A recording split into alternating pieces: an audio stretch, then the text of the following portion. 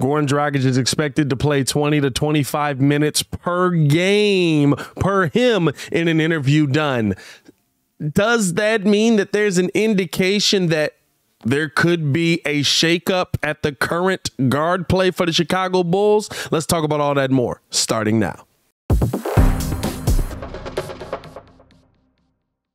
Now, if you are new to the channel, please like the video. Please subscribe to the page. We do talk Chicago sports daily on this channel. It's the only channel talking Chicago sports, how Chicago talk. So make sure that you get in tune with us, man. So, Goran Dragic in an interview stated that he talked with the Bulls last season, talked about coming before he signed with Brooklyn, and then finally he gets the deal done, and he's expecting to play 20 to 25 minutes a game for the Chicago Bulls this season. But if you look at how the Bulls guard roster kind of shakes up, right, you end up questioning where he's going to find these 20 to 25 minutes a game. If Lonzo Ball is starting at point guard and uh, uh, uh, he's coming in kind of just as the spot up shooter that we speculated he was going to be, right? He's not getting 20 to 25 minutes a game. Or if Coby White's going to be here at the two guard and he's playing well, he's not getting 20 to 25 minutes a game. You're not going to put Goran Dragic at the three. He's only six four, So you're really looking at him really as a one, maybe a two, maybe a two if you're really playing a small ball line lineup. So that's kind of the question there, right? Does this indicate something about Lonzo Ball's knee being ready? We got the update yesterday from Arturas Karnisovas on the uh, uh, um, Summer League game where he says that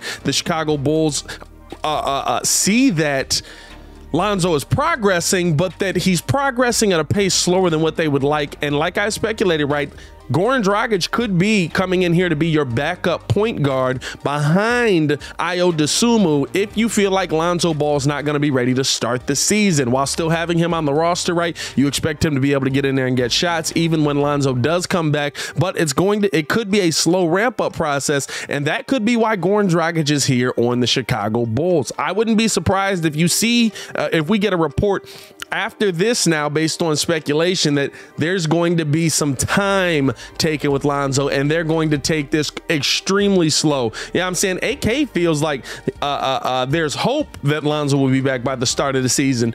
But at the end of the day, right, like there was hope he was going to be back in eight weeks. There was hope he was going to be back in the playoffs. We've been hoping for a long time and we haven't seen that bear fruit. And so Goran Dragic could be the insurance on that. And I wouldn't be surprised if we do see them kind of take their time with, with Lonzo Ball, seeing as how it's a bone bruise and meniscus surgery, right? And you see them really kind of work him back in slower. Therefore, Goran Dragic getting those minutes.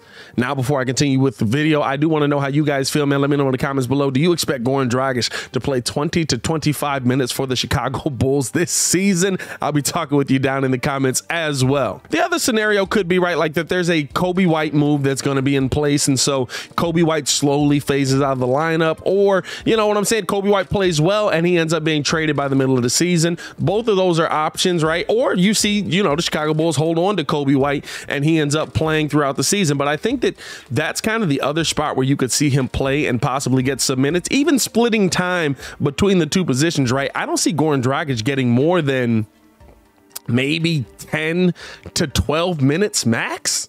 Like, do you see Goran Dragic, even if he's playing a little bit of the one, a little bit of the two, getting more than 10 to 12 minutes? 20 to 25 minutes is a lot of time. That's a half a game.